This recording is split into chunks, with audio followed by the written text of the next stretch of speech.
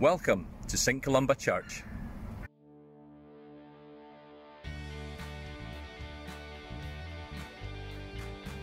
Welcome to St Columba Church. We are people discovering and sharing. infinitely fuller. Life in Jesus. Whoever you are, wherever you're from, You are welcome. as we gather today to discover and share More of life in Jesus.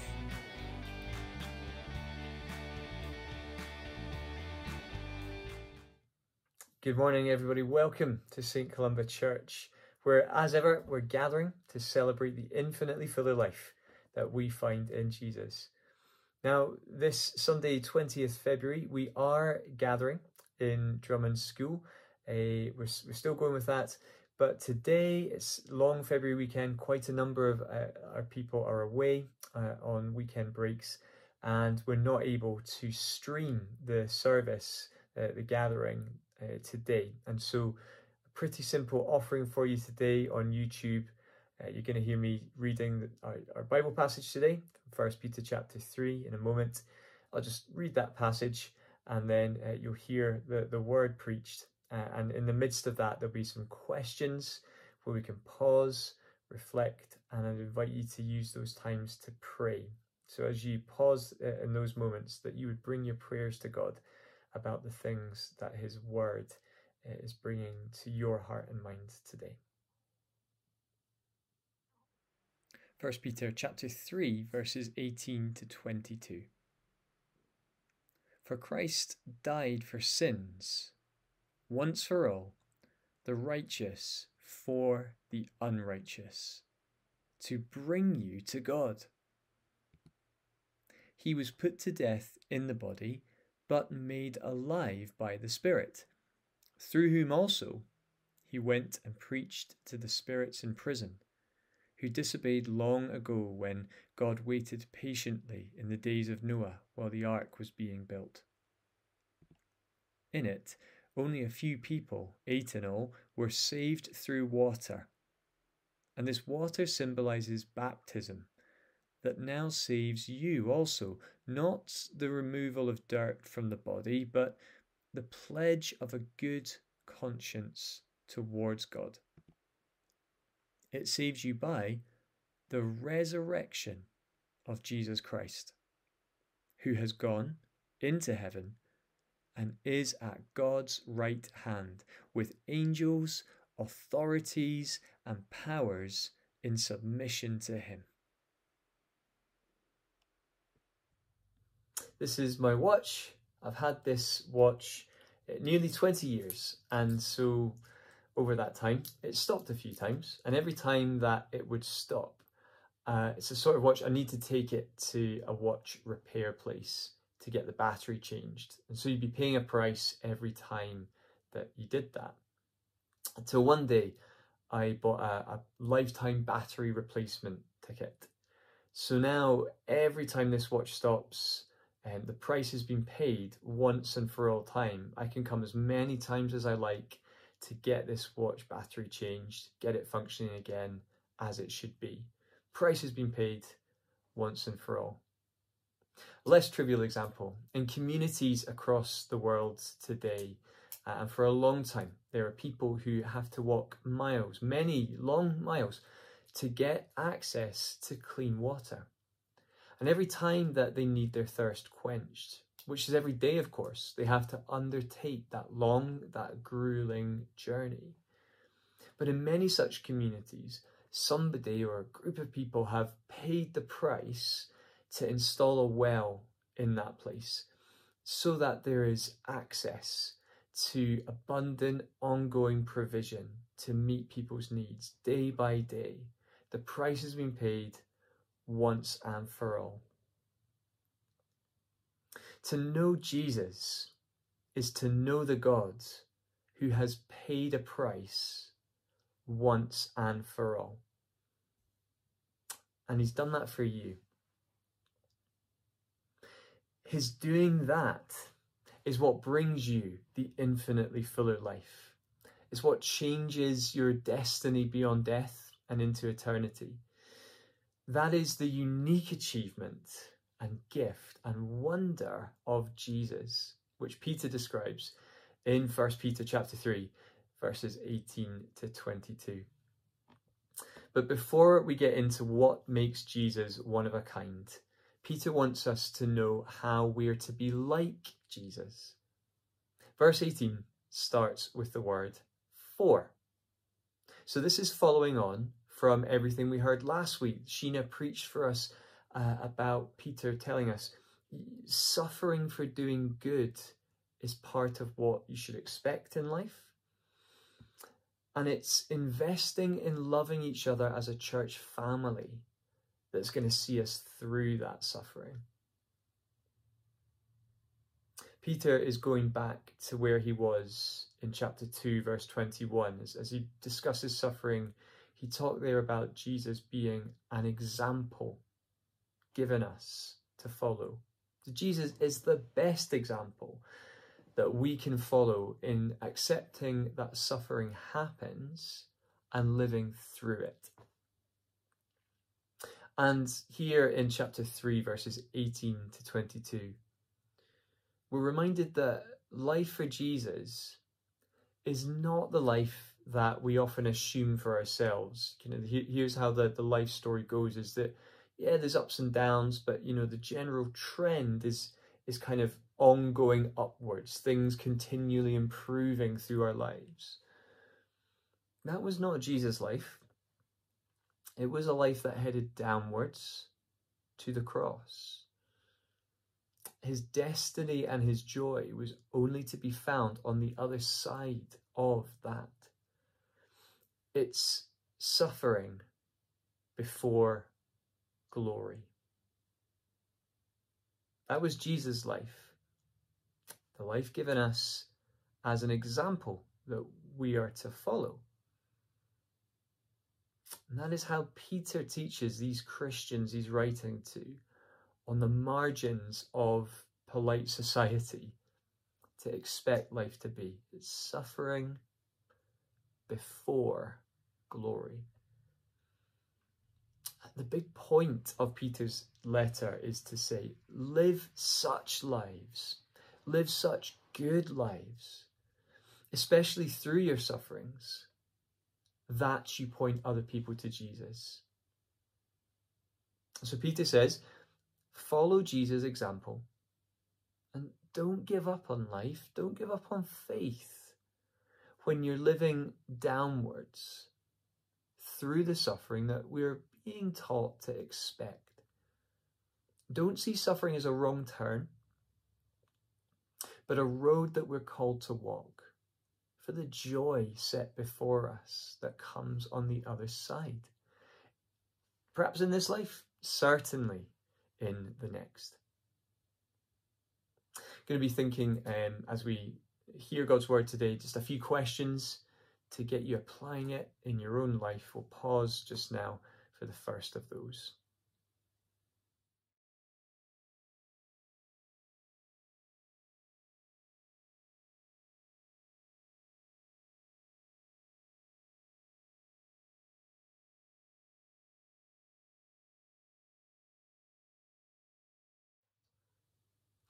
What's more important in this passage, though, is not the ways that we're like Jesus, but the ways that we're not the ways that Jesus is completely unique. The reasons that you and I and everybody in this world needs Jesus. And the surprising, saving, eternal love that he lavishes on you as only he can. Verse 18 contains loads of life changing gospel truth. You know, here we find that Every one of us needs Jesus, but every one of us is welcome to him. For Christ died for sins, verse 18. For sins. That was the purpose. So it's not that Jesus died to um, give us a, a good example, an inspiring life to, to follow, an inspiring sacrifice to emulate. It's not that Jesus died because he was caught by jealous authorities that wanted to get rid of him. That's not why Jesus died, it was for a purpose.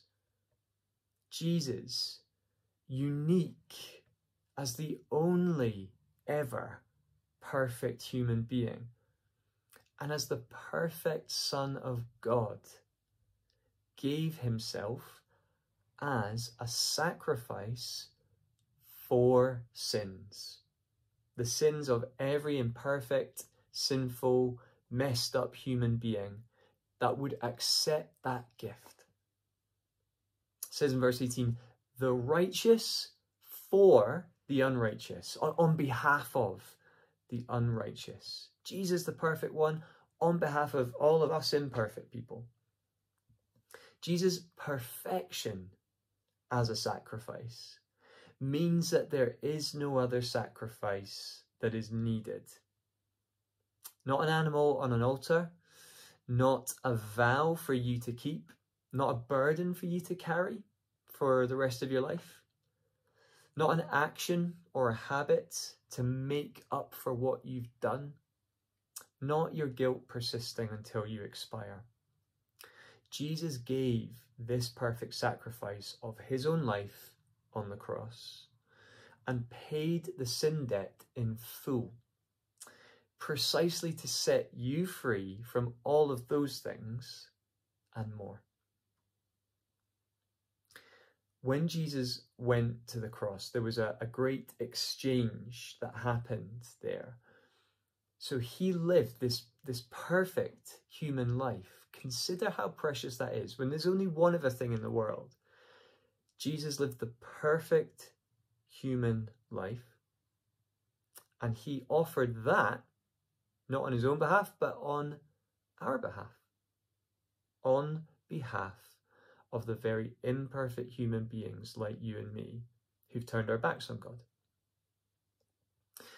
So Jesus also took something upon himself that belonged to us. He took all of the sin, all of the shame, that separated us from God. And, and so these are the things Jesus did on the cross. What he achieves in that is a reunifying of us and God. The righteous for, on behalf of, the unrighteous. So Jesus gave his perfection to God for us, and Jesus took our sin onto a cross for us. All of that for us. Now, folks, this might be the millionth time that you've heard this. You might have uh, gone and put the kettle on. Yeah, I know this. Or maybe this is the first time that you've really heard and understood that message. Either way, please don't let the marvel of this be lost on you. God in Christ went to a cross to set you completely free from sin, from death, from guilt, from shame.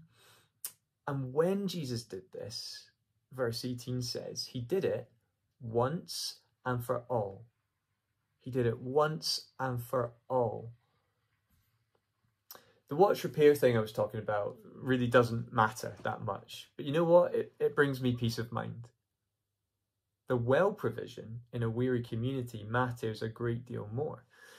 And it brings freedom and provision and well being along with peace of mind to know where the water's coming from. The sacrifice of Jesus on the cross brings peace with God. It brings life beyond death it brings the end of divisions between different human beings. It brings a new church family. It brings a peace of heart and of soul and of mind that can never be stolen by anyone or anything. Jesus' death was once. His sacrifice was perfect, it was total, and it was complete. So you are set free from there being anything that you now have to do eh, to be welcome with God, to know Him, to belong to Him, eh, be part of His family, be His friend, eh, to start that friendship with Him today. A friendship that will go on forever. That is available to you. Jesus did it all. So there is there's nothing for you to do but to accept that gift. And Jesus' death was for all. It wasn't only for people who grew up in church. It wasn't for people just who, who've been here for weeks and months and years uh, that you think understand it better than you. It wasn't only for Jewish people, but for those who weren't Jewish, as Peter was one of the first to find out. It wasn't only for old people or only for young people. It wasn't only for rich people or poor people. It wasn't only for white people or only for black people. It wasn't only for him or for her. It was for you. And it wasn't only for you. It was for the people that God wants you to tell about Jesus now. There's no blockage to your knowing God. There's no boundary to his offer of friendship and family. There are no borders to the kingdom of God except for the ones that we erect, that you erect, when you stop short of saying yes to Jesus.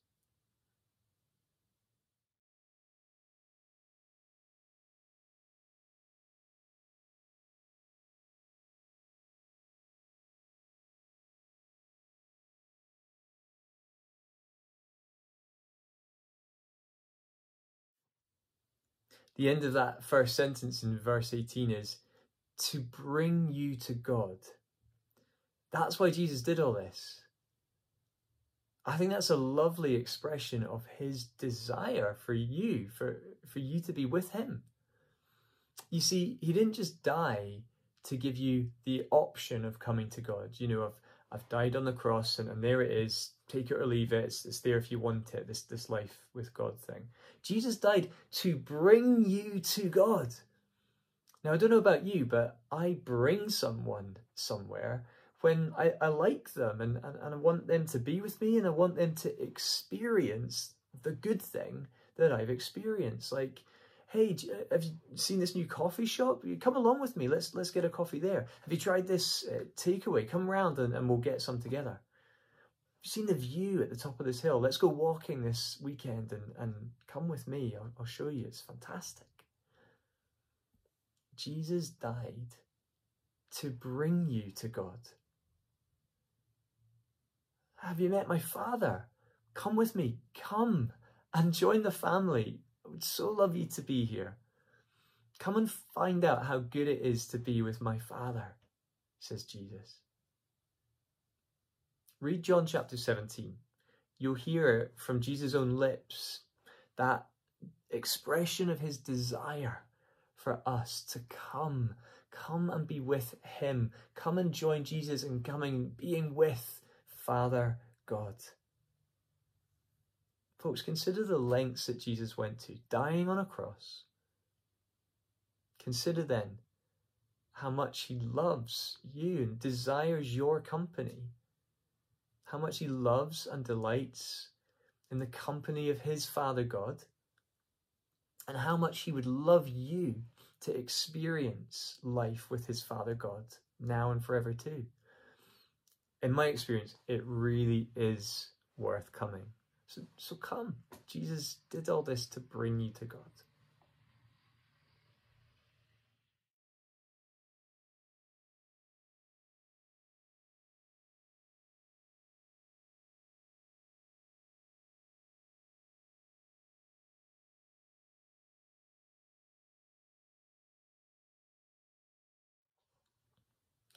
So Jesus didn't just die for sins. Peter says Jesus rose to life. Still in verse 18, he was put to death in the body, but made alive by the Spirit. The Spirit of God brought life to the deceased body of Jesus of Nazareth. This is not like spirit versus body stuff. That tired stereotype of when you die, your soul leaves you and you, you float off to heaven, is not what Peter is saying happened to Jesus, and it's not what the Bible tells us to hope for. The Spirit of God brought physical life back to the Jesus who died on the cross. And it's the quality of, of this resurrected physical life. It is a different quality. It's an incorruptible, never to suffer or die again body. So suffering and, and then glory. In full, physical, technicolor glory. Verse 21 speaks of that resurrection too. Peter's mentioned Jesus' resurrection already in this letter in chapter 1 a couple of times, verses 3 and 21. Peter said, Praise be to the God and Father of our Lord Jesus Christ. In his great mercy, he has given us new birth into a living hope through the resurrection of Jesus Christ from the dead. Through him, you believe in God. You know, it's, it's because of Jesus that we believe in God, who raised him from the dead and glorified him. And so faith and hope are in God. Don't forget, Peter, of course, saw the physically raised Jesus for himself. He was one of the first to do so. We have stories about that in our Bibles. So Peter's not telling us that the soul floats out of the body. He's telling us that Jesus rose from the dead. That which was dead, including the body, rose to life forever. That's what Jesus experienced. And that is what our baptisms, Peter says, picture us as experiencing too. Peter links baptism to resurrection in verse 21. After taking us back to the story of Noah and being saved through the waters, the story of Noah in Genesis 6 to 9, far from being a cute tale about animals, is a devastating, disturbing story about the destruction of all sin soaked life in this world. I think it's good that it's in our Bibles because it narrates so starkly what the end result of a sin stained earthly life is what would happen without God's grace on offer to us? It's destruction and separation from God forever. That, that's where the old life goes. But Noah and his family were saved, and they were fully saved, physically saved. Um, they were saved as a family, they were saved as a whole. Noah heard God's call and he responded to it and he and his family were saved to begin a new life. Peter tells us that our baptisms reflect the same things happening through our faith in Jesus. So when we hear and we believe that Jesus died once and for all for our sins and that he rose to life never to die again, we die to the old life that ends in destruction and we rise to this new life that's safe forever in Jesus' resurrection. Verse 21 says that baptism is the pledge of a good conscience towards God. So it's not that baptism itself it makes the conscience free and makes us clean. The old idea of parents getting a wean done so that, you know, you just feel oh, that's, that's been done where we're kind of right with God there.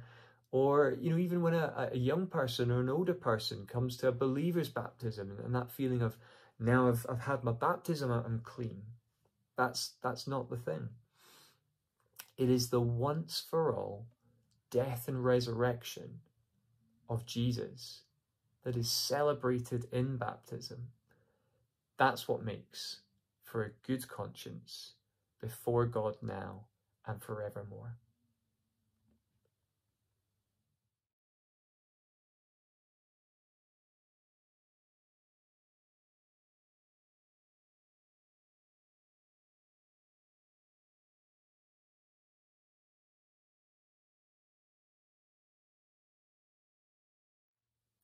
And Jesus didn't just die for sins once and for all and rise to life.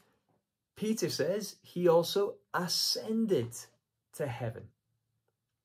Verse 22 tells us that Jesus ascended to reign at the right hand of God the Father with angels, authorities, and powers in submission to him.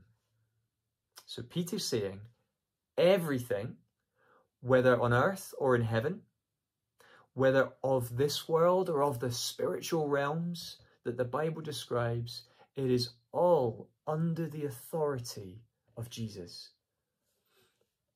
Verses 19 to 20 are quite tricky. It's not totally clear what Peter means by the spirits in prison who disobeyed long ago in the days of Noah.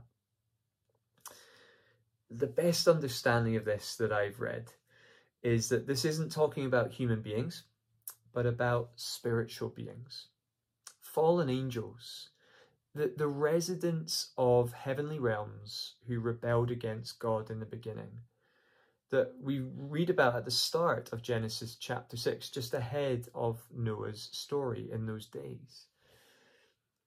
And the word translated preach, that, that also can be translated proclaimed. So the idea is that Jesus, in dying once and for all for sins and rising to life again, that he, he proclaimed victory over all of the spiritual forces opposed to God, that seek to break the relationship between God and his world. Jesus says, I have victory over all of that now. That seems like the best understanding of, of verses 19, 20, because it's what's there in verse 22. This image of Jesus' authority over all things, heavenly and earthly. Now, all of that might only interest a few people who are into Bible interpretation debates. But the point that Peter is making here is important for every single one of us. Jesus, through his death for our sins and his, resur- his resurrection to life, he is completely victorious and he's totally in charge. So there is nothing that can overcome his authority in your life. There's nothing that can overcome his authority in your death. Nothing that overcomes Jesus' authority over your eternity. Jesus is Lord. And for everyone in heaven and on earth who bows to that, there is for us life now and forever. For everyone who doesn't, there isn't. So have you bowed to Jesus as Lord? The Jesus who died for your sins once and for all. The Jesus who did that to bring you to God. He loves you. He wants you to be with him. The Jesus who rose to life, never to die again. The Jesus who brings you the infinitely fuller life through all that. Will you bow today? Once again or perhaps for the very first time.